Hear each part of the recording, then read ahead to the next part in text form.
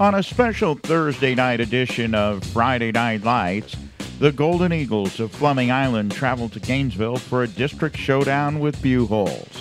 The game no doubt had more meaning for Fleming Island as they entered the game without a district win and were looking to keep their playoff hopes alive.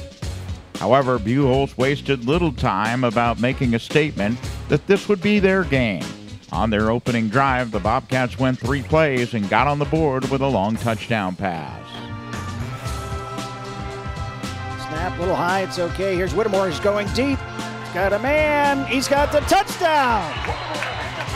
Uh, Caleb Singleton on the coverage there. He seemed like he was in great position. Kind of went more for the ball than the receiver. You'd like to see him play the hands there instead of going for a one-handed interception.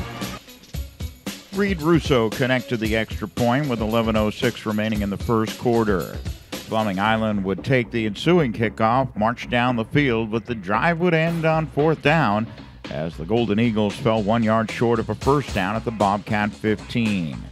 Fleming Island's inability to score would lead to a wider cushion for Buchholz as they would take the ball down the field and get their second touchdown of the game stop the bleeding here as Buchholz adds in an extra offensive lineman. We see no plays called directly for the quarterback at this point. We wonder if they'll uh, they'll try to let Whittemore take quarterback power here. Probably coming soon. Nope, he passes. He's got a man. Touchdown. Great Bobcats. throw. Phenomenal throw there, right in the breadbasket.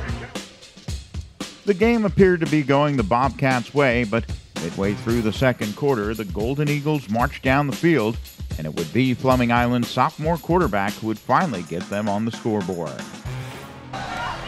Stop for Marshall in the backfield with uh, Sam Singleton. Here's Broughton. He keeps the football off the right side. He's got nobody in front of him. Slow down. Touchdown word. Nice. Austin Elred's extra point was good, and with the first half of play winding down, the Buchholz lead was cut in half at 14 7. However, there was no slowing down the Bobcat offense on this night as Buchholz took the kickoff, marched down the field, and capped it off with a 16 yard run. Absolutely. You know, right after you pull off that touchdown drive, you need to be able to come out on defense and set the tone again. But uh, inside the 20 already. Here's Whittemore. He hands off first man through. That's Williams. Williams still on his feet, crosses the end zone, touchdown. Buchholz would once again connect on the extra point, but if you thought the teams would take a breath from scoring, you'd be wrong. Fleming Island was determined to put more points on the board before the break. The highlight of the scoring drive was a Sam Singleton 32 yard run. It was only fitting that the senior headed to Florida State would cap off the scoring. There's no need for urgency. Just wind some clock and call a timeout. Balls at the one. Once again, 28 seconds and counting. Here's Sam. Touchdown, okay. Golden Eagles. Austin Alred would once again kick the extra point. The two teams would head to the locker room with Buchholz holding a 21 14 lead. Coming out of the locker room, Fleming Island hoped they would be able to put the brakes on the high flying Bobcats.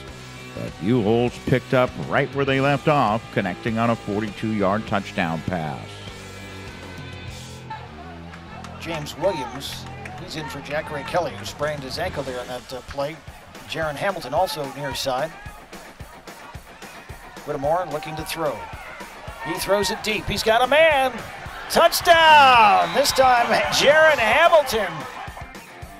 With the Bobcats holding a 28 14 lead, they went back to work late in the third quarter as they hit another TD on a 24 yard pass from senior quarterback Creed Whittemore. 354 and counting down third quarter. Bobcats threatening again. Here's Whittemore. He wants to throw. He does. He's got a man in the end zone. Excellent throw there. Nice Touchdown, catch. Bobcats. However, the never say die Golden Eagles wouldn't go away. They marched down the field again, and a big run and catch from Dakota Rowe would set up their next score.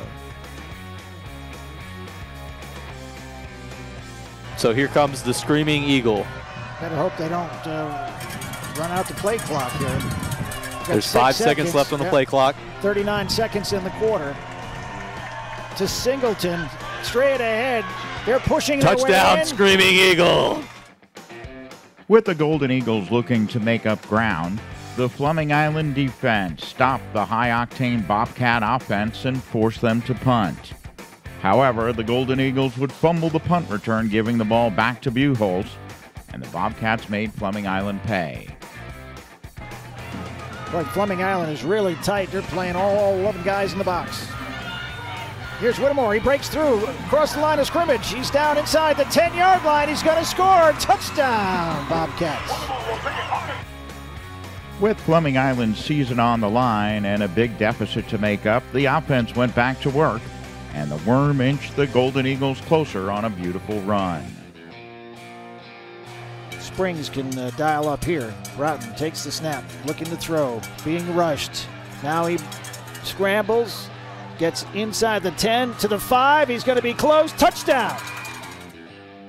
And if that wasn't enough, Broughton would pull off a little more magic to register the two point conversion.